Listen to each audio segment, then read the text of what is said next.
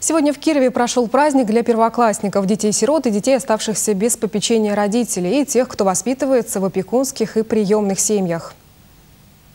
Клоуны, подвижные игры, театрализованное представление, выступления музыкантов. В канун нового учебного года отличный повод получить заряд положительных эмоций. Тем более, что многие из этих детишек не избалованы подобным вниманием.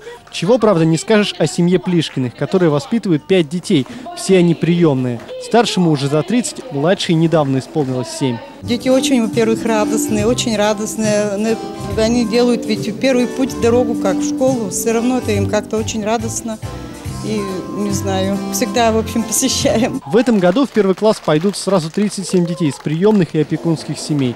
В числе них также и дети-сироты, и те, кто остался без попечения родителей. Этим летом ребята получили немало новых впечатлений. Впервые мальчики и девочки отдохнули на Азовском море. Детки э, вернулись все загоревшие, счастливые, там им очень понравилось. Нас очень хорошо приняла ростовская земля.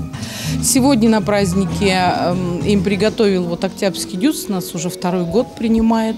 Приготовили очень интересную программу развлекательную. Она будет состоять из концертных номеров, там будут клоуны, будут э, неожиданные моменты для детей. В конце праздника детишек ждал сюрприз. Каждый из них получил портфель с набором первоклассника. Кроме этого, сразу после концерта все они вместе с приемными мамами и папами были приглашены на обед в кафе.